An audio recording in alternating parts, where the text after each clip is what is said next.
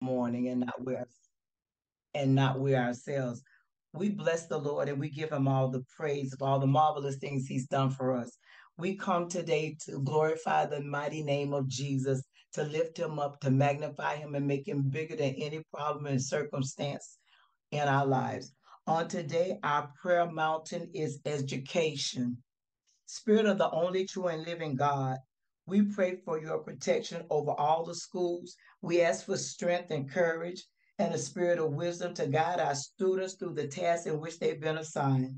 We pray for eagerness to learn. We pray for families in every district, oh God. We pray that our students won't become distracted and they will feel a spirit of peace and love. We pray for love and joy. We pray for their educational experience to be filled with the wonder of learning. Lord God, we pray for our principals. We pray for all school board members, teachers, and etc. We pray for our students who are struggling, oh God, and we thank you right now, oh God, for interceding on their behalf and giving them the power and the wisdom to do what you've assigned them to do. We pray, oh God, for the students who have no motivation, oh God, but we pray even now that they will be motivated to excel. We pray for daycare centers, oh God. We pray for elementary, middle, high, and universities. We pray for safety. We pray for our bus operators, to security officers, cafeteria staff, custodians, recreational centers, and after school care. We pray for daycare owners and workers, private and public universities. Lord God, we come against the spirit of the enemy. We bind the spirit of bullying. We bind the spirit of murder, suicide, hopelessness, and confusion. Lord God, we honor you on today. And we ask you even now to bless our children as never before. We pray even now that they will be recipients of the honor roll, promotions, graduations, scholarships, and degrees. And all this will be done for your glory. And we will continue to give you the praise. We ask for your continued blessing on the educational system. It is in Jesus' name we pray. Amen and amen. To God be the glory. Today's lesson is coming from Kingdom 365, our devotional by Dr. Demetrius Robinson. It is day 275. Our topic is the fatted calf. And bring hither the fatted calf and kill it, and let us eat and be merry. Luke 15 23. The text we are considering today is the story of the prodigal son. This story is well known for its talks about the younger son who was asked for his inheritance while his father was still alive. When this was done, it conveys the meaning that the son wishes that the father were dead. So the father gives the younger son his inheritance, and the son begins to spend his inheritance until it was all gone. And he was about to eat the pigs, eat with the pigs, when the Bible says he came to himself and remembered the father's house. The son made the journey from a far country back to his father's house. And when his father saw him afar, he ran and welcomed his son back home. He says to his servants, Kill the fatted calf. It is customary when a family is to celebrate that they would kill a lamb because the lamb feeds about 15 to 20 people. This is enough for your immediate family and those who just hang around your house. To kill a fatted calf means that you're going to feed an entire village.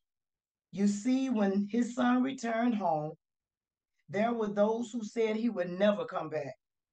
And all the naysayers were coming to the feast. God promised to prepare a table before you, even in the midst of our enemies let's get the grill out. Amen. To God be the glory. We'll be coming from uh, Luke, the 15th chapter, beginning at the first verse, and we'll kind of skip around. Jesus was speaking to the outcasts of society because they were drawn to him. There was something about Jesus that even the people that weren't saved were drawn to him, and he took time with them. But the religious leaders were determined to have Jesus killed because he received sinners and he ate with them.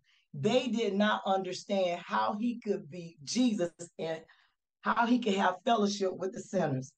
Four, he asked, What man of you having 100 sheep, if you lose one of them, does not leave the 99 to go after the one which is lost until he finds it? He lays it on his shoulder, rejoicing, because he's obligated to the master to see that none of the sheep are lost. He's obligated to the master to see that none of them are killed or injured. He says, Rejoice with me. I have found my sheep that was lost. I say to you, there will be more joy in heaven over one sinner who repents than 99 who need no repentance. Verse number eight is talking about the lowest coin. A woman having 10 silver coins, if she loses one, doesn't she light the lamp, sweep the house, and search carefully for it until she finds it? And when she does, she calls all her friends and neighbors together, saying, Rejoice with me, for I have found the piece which was lost. 10. Likewise, I say unto you, there is joy in the presence of angels of God over one sinner who repents. This is a great example of joy that is expected when something that was lost is now found.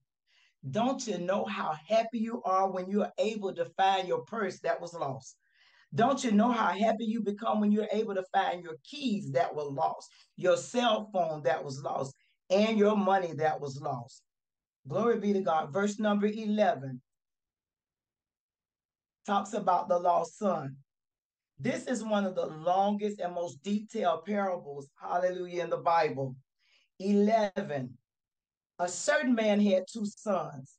The younger of them said to his father, and the father, the father is also your source. So he said to his source, Please give me the portion of my goods that fall to me.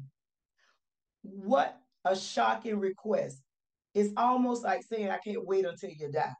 So the father, glory be to God, gave him his full portion, which was a third of the entire estate. The oldest brother got a double portion. How many of us have refused a relationship with the Father, but we want all of his benefits? All our prayers are selfish. Give me, give me, give me. Lord, I need this, I need that. Give me my goods, but there's no relationship formed with the Father. Verse 13. Not many days after, the younger son got his possessions and he went to a faraway country you notice that the father did not hinder him. Knowing that the safest place was in the father's house, and the father also knew that this boy was not mature enough to navigate his life, but he did not hinder him. He did not chase after him. He did not coddle him. He refused to enable him. He allowed him to leave. He released him. Many times we have to let our children grow, go and face the hard, cruel world. He was partying and enjoying life. He wasted all of his possessions with prodigal living. Prodigal living and prodigal spending means spending money or resources freely and recklessly, wastefully, extravagantly. What was it that caused him to seek the pleasures of the world and walk outside of the safety and the provision of the Father's house? We're drawn away by our own lust. So many of us have walked away from the will of God because of what we wanted. We are drawn away. Glory be to God. Verse 14. When he spent all, there was a famine. 15. He began to feed the swine. This was horrendous because the Jews considered the swine as the worst kind of unclean animal. I believe the father knew that his son was in distress. Yes, he stood his ground. He didn't send out an APB. He didn't found an ABBA report. He didn't alert, hallelujah, the police department. He didn't place fires out on, on posts. He did not inform the television stations. Sometimes we have to allow our kids to hit rock bottom while we stand still and see the salvation of the Lord. 16, he was starving. and he desired to eat the parts that would what that was what the swines ate. But the parts were undigestible for humans. The only reason he didn't eat it was because he couldn't. No one gave him anything. All the people that he parted with, all the people that he took care of, nobody gave him anything. He couldn't even make a living by begging. This symbolizes the state of a sinner that is helpless and in despair without reaching out to the saving grace of the Lord Jesus Christ. 17. Eventually, he had an aha moment. He came to his senses, realizing that his constant sinning left him bankrupt and hungry. He began to think and move more clearly, which made him a prime candidate for salvation. First of all, you must realize that you're lost. And we understand that this entire chapter is talking about being lost and found. He understood that he was lost. Matthew 5 3 through 6 says, Blessed are the poor in spirit, for theirs is the kingdom of God. Blessed are they that mourn, for they shall be comforted. Blessed are the meek, for they shall inherit the earth. Blessed are those who hunger and thirst after righteousness, for they shall be filled. We understand he's empty now, and he needs to be empty of himself so he can be filled with the Spirit of the Lord Jesus Christ. 17. But when he came to himself, he said, Hallelujah. Many of my father's hired servants have bread enough to spare, and I perish and almost starved to death from hunger. 18. I will rise and go to my father and say to him, Father, I have sinned against heaven and before you. First of all, you understand the enemy's job is to take you down. I thank God he said, I he rose and he said, I'm going to go to my father's house. He understood that he had sinned against heaven and against his father. That was the confession, understanding the fact that he was wrong and out of order. He was a sinner. 19, he says, I'm no longer worthy to be called your son. He's rehearsing to himself what he's going to tell his daddy. I'm no longer worthy to be called your son. Make me like one of the hired servants. He's just rehearsing and rehearsing. What makes him feel that his actions disqualify him from being a son? We're sons of God, and the enemy tries to convince us that when we fail and when we sin or when we rebel, we have been demoted. We are so loved by the Father. Glory be to God. He has unconditional love, agape love. Romans 8 35. Nothing can separate us from the love of God. 20. He arose and came to his father, but when he was still a great way off, his father saw him and had compassion and ran and fell on his neck. The father had been looking for his son. Compassion does away with tradition. Compassion does away with the traditions of man because it was very undignified for him to run. Glory be to God. But he ran. Not only did he run, he protected his son. He understood that his son really could have been stoned to death by the elders for being a stubborn and rebellious child. Deuteronomy 8 18 through 21. He did not get what he deserved. Glory be to God. He got the love of a father. The, the father kissed him signifying a covenant agreement. 21. Father, I have sinned against heaven and in your sight. I'm no longer worthy to be called your son. That made me think about my children. I have six children. One of them is on drugs. That does not negate the fact that he is still my son. That does not negate the fact that I still love him. No matter what he does, I do not love him less. I do not love him less than my children that are college graduates. He's my son. I understand, hallelujah, that he's lost, but I'm standing at the door waiting for him to come home so I can welcome him with, with welcome arms and love, and I can kiss him and let him know that he's always been my child. He's always been my son because we've all sinned and come short. 22. Bring out the best robe. Hallelujah. Give him the best robe. The best robe is probably the father's robe. And the, the best robe is always reserved for the guest of honor. 23, give him a ring. Put the ring on his finger. This is a code of honor. Glory be to God. Put sandals on his feet, which indicate he is a son and not a slave. Usually slaves didn't own sandals. 23. Bring the fatted calf here and kill it, and let's eat and be merry. 24. For this my son was dead. Glory be to God. And now he's alive. He was lost, but now he's found. The fatted calf had been set aside. Glory be to God.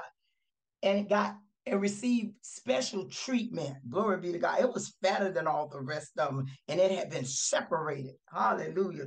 It was set aside, it was sanctified so that it receives special attention. When it's used, it's used for special occasions and celebration for someone who has been away for a long time. Kill the fatted calf. 25. The older son was in the field. He heard the music and dancing. He heard the DJ playing all kind of songs, and he wanted to know what was going on. 26. He called the servant and asked, What's going on? 27. Your brother, glory be to God. Hallelujah. Your brother has come. And because he, your father has received him, he is safe and sound. Your father has killed the fatted calf. 28. The brother was angry he wouldn't go in. Therefore, the father came out and begged him, Please come inside. Please come inside. This was such a disrespect to the father. 29, he said, Look, that's no way to talk to your dad. Look, all these years I've been serving you. I never transgressed your commandments at any time. And yet you never gave me a young goat that I may make merry with my friends. Oh, glory be to God. It really shows you how he's like the religious hypocrites, never recognizing their own sins and they refuse to repent. This boy has the same spirit of the Pharisees, glory be to God, and the scribes. All those years of service were motivated by what he wanted and what he could get for himself, not because he loved his father. He was selfish. His behavior was horrible. And even though society may have seen him as being acceptable because he was doing, you know, the church thing, and society may have looked at the brother as being foolish because of his folly, but the older brother's heart posture was evil. And he was equally dishonored he equally dishonored his father just as the younger son did. Even though you kept the rules, your heart posture was evil. You were selfish, and you too need to repent. Just because you're in church doing church things, what is your heart posture? Why do you do what you do? Ah, glory. Verse 13. The son of yours. This is what he says now. This son of yours, he refused to call this boy his brother. How bitter can you be? This son of yours. Ha, glory be to God. This shows you such a root of bitterness and jealousy. 31. All I have is yours, the father is saying. You had your inheritance. Everything the father had already belonged to the elder son. He hated the love that was shown to the prodigal, like the Pharisees and scribes. He had easy access to the riches of God's truth, just like the Pharisees did, just like the scribes. They had access to the truth of God, but they spent their lives dealing with the scripture and dealing with public worship, but never having a personal relationship. They never possessed the joy that the sinner receives, glory be to God, when they repent and have a real relationship with the Lord. Yes, the scribe and Pharisees knew the word, but they had no joy. They were evil and bitter. 32. It's right that we should make merry.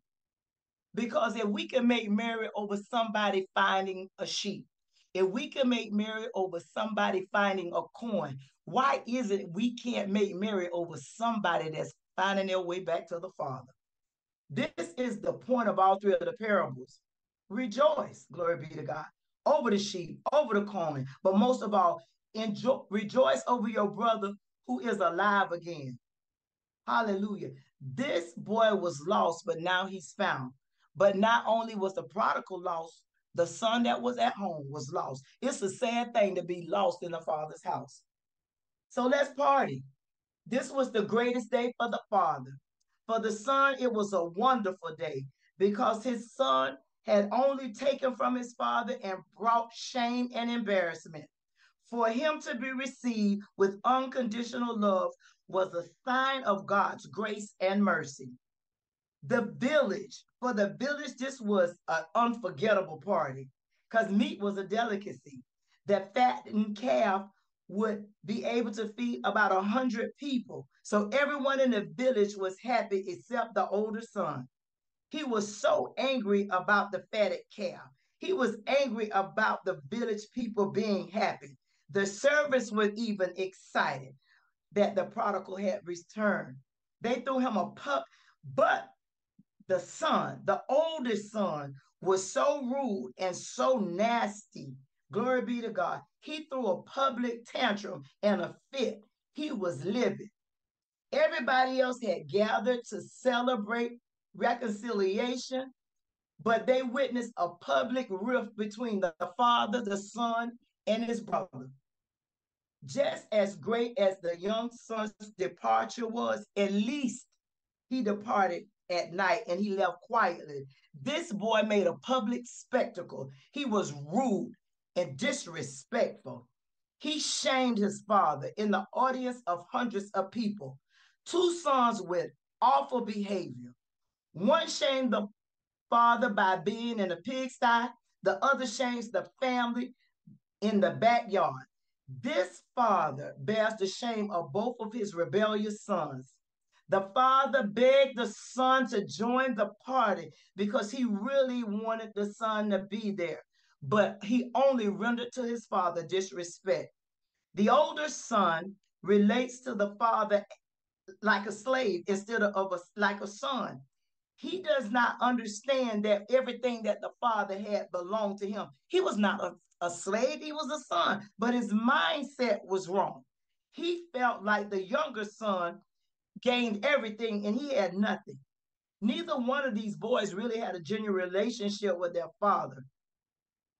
They were more consumed about what the father could provide for them. In the beginning of the text, at the top of the 15th verse, the tax collectors and all gathered around to hear Jesus, but the Pharisees and the teachers of the law muttered and complained. This man welcomed sinners and eats with them. Now we can tell who these two brothers really are. The younger son is like the tax collector and the sinners. He lived his life to the fullest. He partied, but there was something that kept that drew him, just as the sinners and the tax collectors were drawn to Jesus.